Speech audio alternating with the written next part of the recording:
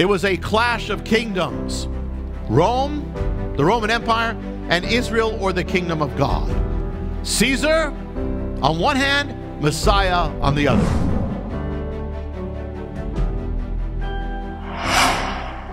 In the year 303, the Roman Emperor Diocletian, along with his co emperors, launched what would be known as the Great Persecution of Christians. He issued a number of edicts that removed all legal rights from Christians. This is the greatest persecution in the Roman Empire. He required Christians to offer sacrifices to the gods. He targeted ministers.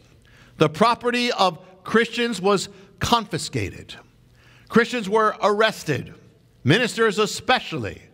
The prisons became so full of Christians and ministers that the Romans had to release criminals to make room for them.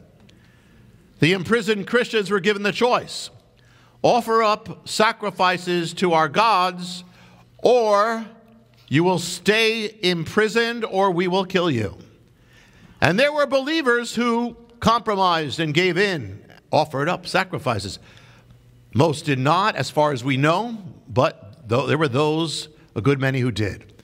Believers were killed for their faith, some were burned alive. In the hills of the Ionian coast of modern day Turkey are the ruins of an ancient temple, the temple of Apollo of Didyma.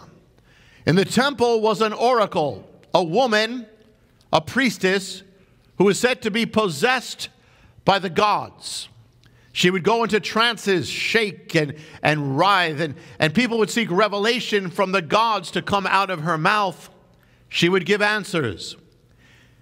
At the end of the year 302, the emperor sent a representative to the temple of Apollo to the oracle and asked to inquire from the gods the question Should I launch this persecution against the Christians?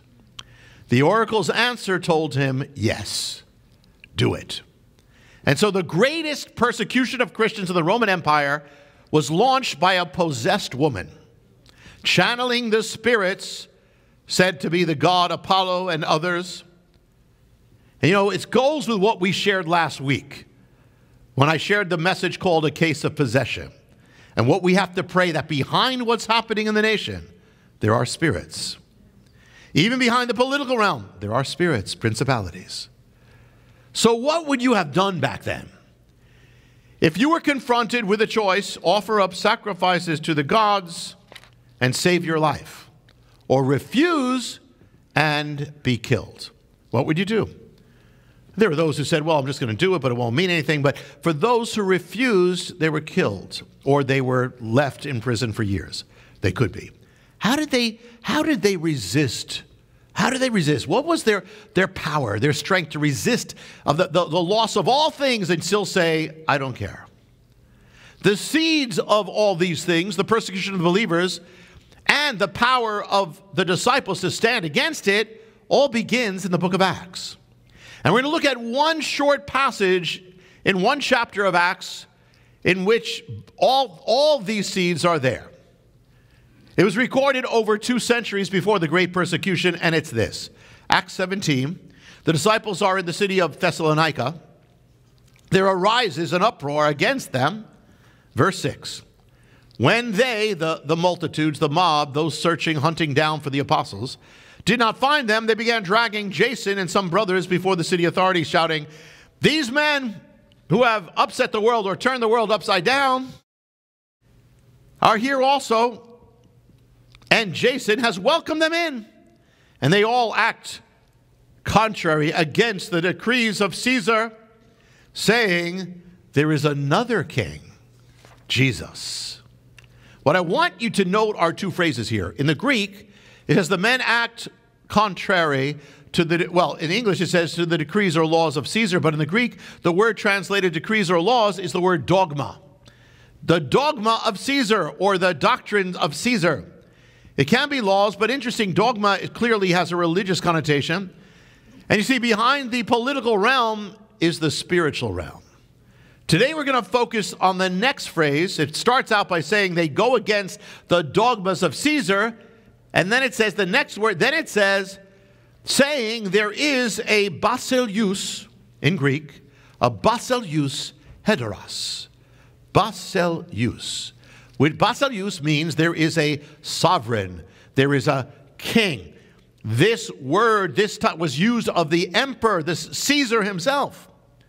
Now, this is one of the few times when, when Yeshua, Jesus, is called king, as in the book of Acts. He's called king a number of times in the Gospel of Matthew, but in Acts, you won't see so much why. The Gospel of Matthew was written first to the Jewish people of the Messiah. The Messiah is king. It's okay to tell Jewish people the Messiah is king. Jesus is, Yeshua is king of the Jewish people and of everybody, but he's king. So he's spoken of king. But in Acts, the gospel is now going forth to the Roman Greek world. And the, in the Roman world, to speak of a king, a sovereign, other than Caesar, is treason. Unless it's a local authority that Caesar set up, but you simply say he is king, you're putting him in conflict, you're putting yourself in conflict with Caesar. And it's considered treason. And that word is used in Act, that's that, again that same word, basileus, of the emperor. In John 19, when, when Messiah is brought to Pilate to be killed, notice what they said. He declares himself king, going against Caesar. That's treason. So ultimately, it's an issue. And, you know, even though these are charges made by the enemies of the gospel, this is the truth. It was a clash of kingdoms Rome, the Roman Empire, and Israel or the kingdom of God. Caesar on one hand, Messiah on the other. Messiah was crucified, the king was crucified under the reign, the authority of Caesar. So one king and another king at war, a war of kingdoms. But then Messiah rises from the grave, and the power of this king starts entering into the Roman world. It will ultimately overturn it. So the gospel is spreading through Rome, two kingdoms. The persecution of Rome against the people of Messiah, it's a war of kingdoms. So notice here, who is calling him king here? Not the believers, but those bringing charges against the believers because it was a dangerous thing to say. And that's what Rome feared and hated about the believers. Not that they were religious people, but that they were they were in Rome, but they were like they were not of Rome. They were of another kingdom.